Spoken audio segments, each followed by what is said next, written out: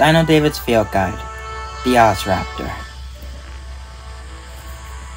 One of the most uncommonly known dinosaurs is the Ozraptor. It was named after the continent of Australia, where its first bone was found. The Ozraptor was a carnivore that lived during the Jurassic period, over 175 million years ago. We don't know much about the Ozraptor because we currently only have one real leg bone that was discovered by four college students. You may have only discovered one bone of you, but you are still one awesome dinosaur. Dino David's field guide, the Ozraptor.